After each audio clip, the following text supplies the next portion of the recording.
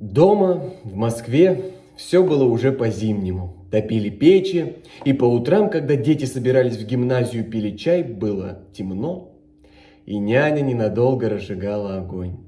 Уже начинались морозы. Гуров был москвич. Вернулся он в Москву в хороший морозный день, и когда надел шубу и теплые перчатки, и когда прошелся по Петровке, и когда в субботу вечером услышал звон колоколов, то недавняя поездка и места, в которых он был, утеряли для него все очарование. Мало-помалу он окунулся в московскую жизнь, уже с жадностью прочитывал по три газеты в день и говорил, что не читает московских газет из принципа. Пройдет какой-нибудь месяц, и Анна Сергеевна, казалось, ему покроется туманом, и лишь изредка будет сниться ему с трогательной улыбкой, как это делали другие. Но прошло уже больше месяца, наступила глубокая зима, а в памяти все было ясно, точно расстался он с Анной Сергеевной только вчера, и воспоминания разгорались в нем все сильнее – Вдруг в памяти всплывало все, и раннее утро с туманом на горах, и то, что было на малу, и пароход из Феодосии, поцелуи. Закрывши глаза, он видел ее как живую, и она казалась ему лучше, красивее, нежнее, чем была. Да и сам он казался себе лучше, чем был тогда, в Ялте. Она по вечерам глядела на него из книжнего шкафа, из камина, из угла. Он слышал ее дыхание, ласковый шорох ее одежды. На улице он провожал взглядом женщин, искал, нет ли похожей на нее, и уже томилось сильное желание поделиться с кем-нибудь своими воспоминаниями. Но дома было нельзя говорить о своей любви. А вне дома не с кем, ни с жильцами же и ни в банке. Да и о чем говорить? Разве он любил тогда? Разве было что-нибудь красивое, поучительное, поэтическое или просто интересное в его отношениях к Анне Сергеевне? И приходилось говорить неопределенно о любви, о женщинах, и никто не догадывался, в чем же дело – Гуров не спал всю ночь и возмущался. И весь следующий день провел с головной болью. Дети ему надоели, банк надоел, не хотелось ничего делать, ни о чем говорить. В декабре, на праздниках, он собрался в дорогу и сказал жене, что уезжает в Петербург хлопотать за одного молодого человека. И уехал в С. Зачем? Он и сам не знал хорошо. Ему хотелось повидаться с Анной Сергеевной, поговорить, устроить свидание, если это возможно. Приехал он в С утром и занял лучший номер в гостинице, где весь пол был обтянут серым солдатским сукном, а на столе стояла чернильница, серая от пыли.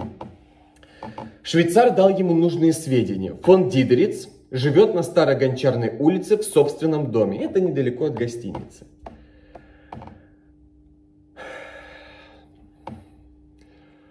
Гуров не спеша пошел на Старогончарную, отыскал дом. Как раз против дома тянулся забор, серый, длинный, с гвоздями. От такого забора убежишь, думал Гуров, поглядывая то на окна, то на забор. Он соображал, Сегодня день неприсутственный, да и муж, вероятно, дома. Да и все равно было бы бестактно войти и смутить. Если же послать записку, то она, скорее всего, попадет в руки к мужу. Тогда можно только все испортить. Лучше всего положиться на случай. И он все ходил и поджидал этого самого случая. Он ходил и все больше и больше ненавидел этот забор. И уже думал с раздражением, что Анна Сергеевна забыла о нем и, вероятно, развлекается с кем-то другим. И ведь это так естественно в положении молодой женщины, которая вынуждена с утра до вечера глядеть на этот проклятый забор. Он вернулся к себе в номер и долго сидел на диване, не зная, что делать. потом обедал, потом долго спал. Как все это глупо и беспокойно, думал он, проснувшись.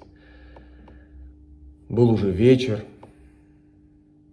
Вот и выспался зачем-то. Ну и что я теперь ночью буду делать? Он сидел на постели и дразнил себя с раздражением. Вот тебе и дама с собачкой. Вот тебе и приключения. Вот и сиди тут.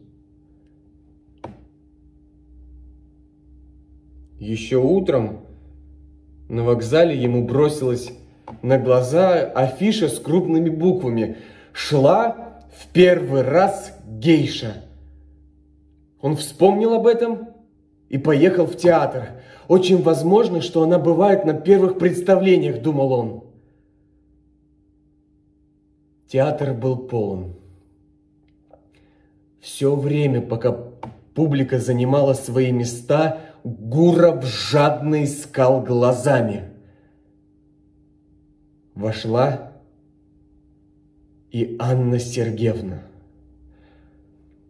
Она села в третьем ряду, и когда Гуров взглянул на нее, то сердце у него сжалось, и, он ясно понял, что теперь для него на всем свете нет ближе, дороже и важнее человека. Она она теперь наполняла всю его жизнь, была его радостью, горем и тем единственным счастьем, которого теперь он так желал для себя.